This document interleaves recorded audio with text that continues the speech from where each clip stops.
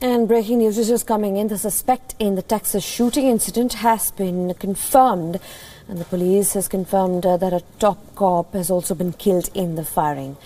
The university reported that the shooting took place around 8.33 p.m. local time. It, the, all the official announcements were made on that official Twitter handle.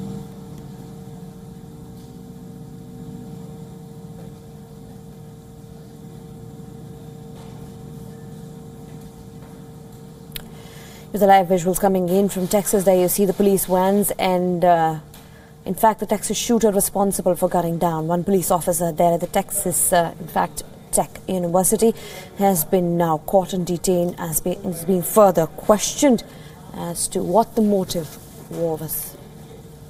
And more details are still awaited.